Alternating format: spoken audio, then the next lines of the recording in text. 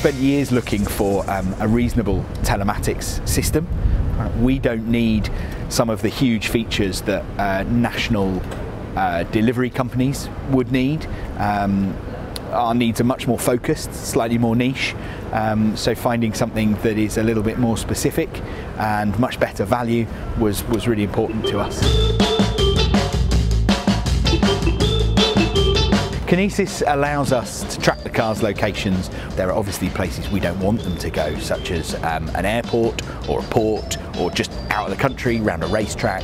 All these things allow us to set up uh, geofences so that we get an alert whenever the car gets anywhere near. Prior to having Kinesis, we were having to um, estimate a lot of the car's uh, mileage, um, so the exact number of miles they were driving to every job. So we were expecting the cars to be doing something like 20 miles a day. We discovered they were doing almost double that. Most days they were out, sometimes triple that. It may not sound like a lot, but on these little cars, driving first and second gear everywhere they go over very rough little uh, cobbled streets like these, that makes a big difference. I can simply just open up a, a report of the day, the week, the month, and I can see how many hours that car has spent on the road.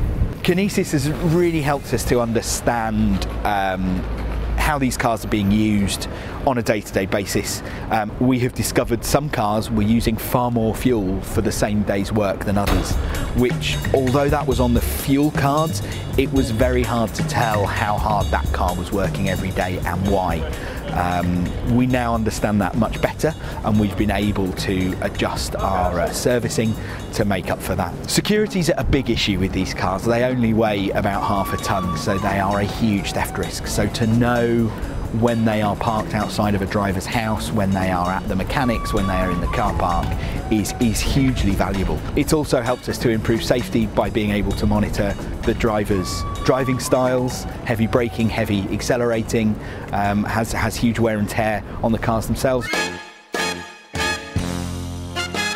The app is a particularly useful tool um, for being able to just very quickly see where a car is um, particularly when a driver's running a little bit late or we've got an issue or if there's a problem um, out on the road, it allows us to see very quickly how that's likely to affect the customers. And I would recommend uh, Kinesis to several companies that we know that operate um, classic car self-drive hire businesses.